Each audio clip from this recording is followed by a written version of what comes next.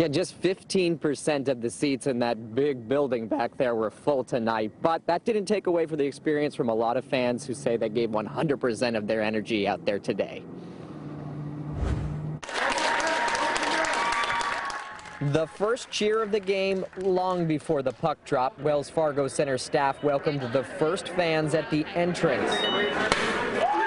Gritty was there too with some confetti as the masked up Flyers faithful moved through the new check-in process. I live in South Jersey. We've always been diehard Philly fans, and once we heard they let us back in, we immediately knew we had to go to the game. The team decorated with balloons and a welcome back message. It's been a long wait since last March. We were here for the last Sixers game before everything shut down, so it's just like first last one there, first one back, so we're really happy to be here. This seating arrangement is on purpose to keep people apart. The mobile ordering system for concessions now in place too and working well thanks to the hundreds of workers who are also now back on the job including Vito Cimenti. But having fans back, it's, it's, it's uplifting and it's, uh, it's exciting. His boss says there have been a lot of happy reunions tonight. When you don't see people for a year and you say, hey, nice to see you, uh, it really takes on some special meaning. The feeling to be back is, is it's incredible. The super fans are also enjoying this moment and excited about the rest of the season. It makes you forget what you're going through right now